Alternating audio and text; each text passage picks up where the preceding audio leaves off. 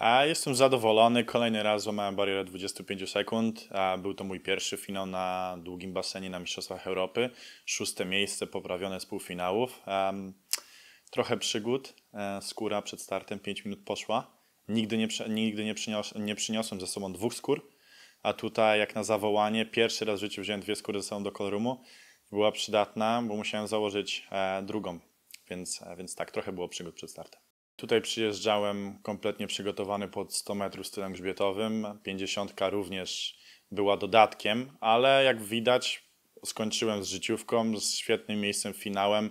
W finale e, kompletnie tego się nie spodziewałem, ale jak widać, taki jest sport i napędza mnie to na jutrzejszy dzień. Jutro rano eliminację 100 metrów stylem grzbietowym, e, wewnętrzna walka między Polską ale również trzeba popłynąć wystarczająco szybko, żeby zakwalifikować się do półfinału, a potem już będziemy myśleć, co dalej.